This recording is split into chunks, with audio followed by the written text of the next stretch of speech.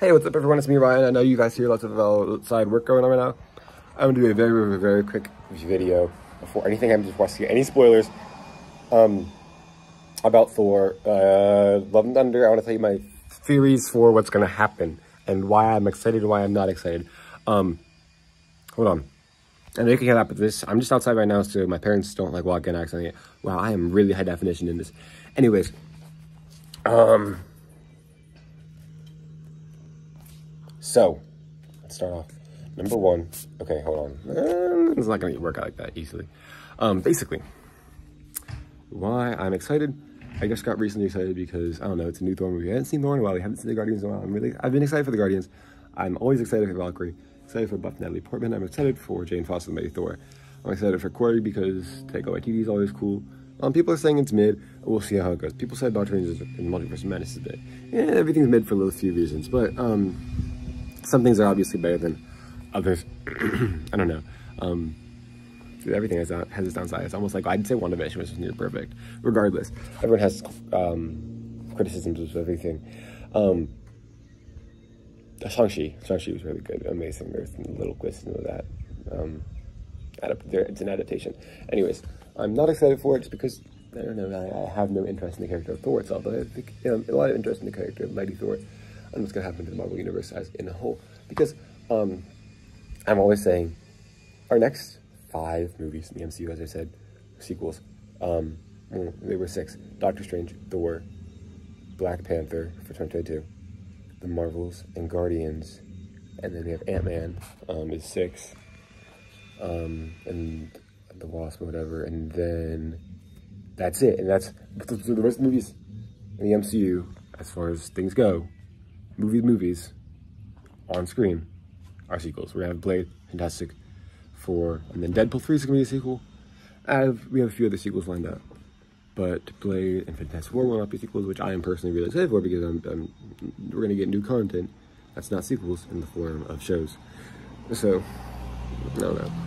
I always love that kind of stuff when, when we're not just doing a sequel to something. They're not bad, it's just, you know. Anyways, um, so it's another sequel. Um, I don't know. Um, but Taika Waititi also said it's very gay, which is very exciting. Um, I'm also I've had enough with the God Butcher. He doesn't look as exciting as I wanted him to. He doesn't look like he poses a huge threat.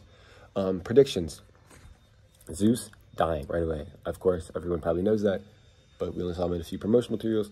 I, only a few scenes. I don't think he's staying too long. Um, Love and Thunder, we have been confirmed since like the longest time that um, A, Jane Foster is getting cancer, and apparently Taika's mom had cancer, so he'll do really good job with that. Um, I hope there's an Avenger that shows up. Apparently Sif is supposed to show up. I don't know how and when. Maybe she dies. I hope not. I really hope Heimdall and the rest of them have another chance. The brothers, the Warriors 3, because it's not a Thor story without them. But then the Ragnarok story is undone, or whatever, whatever. I don't know. Um, it'd be really cool if Loki showed up. Just keep death one more time besides in the series. I would, would love it, but we'll see. Because around and then then the Loki series, there's no point in that.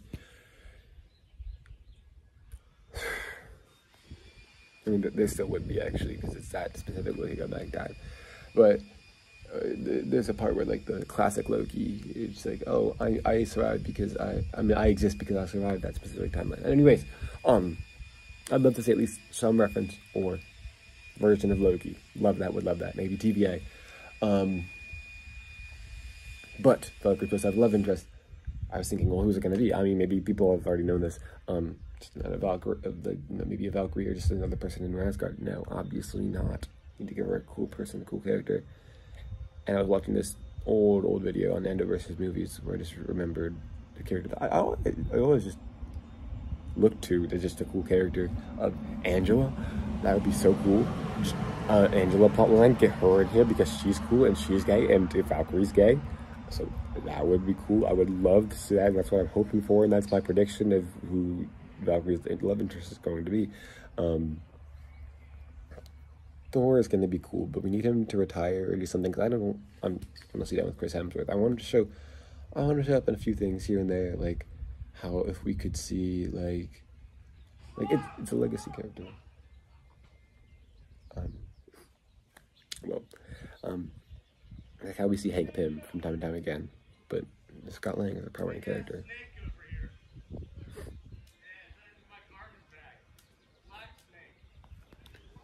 You guys, you guys are hearing this. Um, doesn't really matter, but um, I'd love to see Thor show up like as a like like an old or older guy, just not like an old guy, but just like the, the original holder of the mantle, just showing up time and time again when we need him to. But I want to, I want Jane Foster to take the spotlight.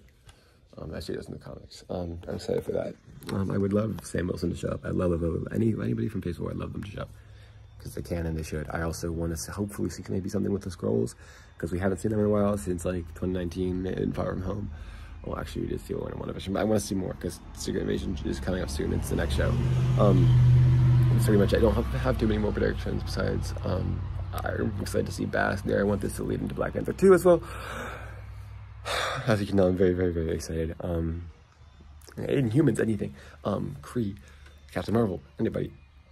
Um, just, um, things I would hope to love to see.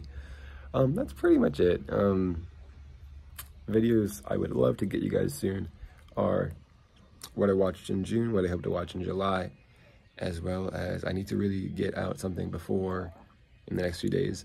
Um, San Diego Comic Con is coming up as well as Disney Plus Day. What is probably going to get be announced versus what I um, hope and wish and predict will be announced, um, release dates, etc. I will hopefully be working on that in the, in the near future, but I also have a life, so we'll see how that goes. Anyways, that's about it. See ya.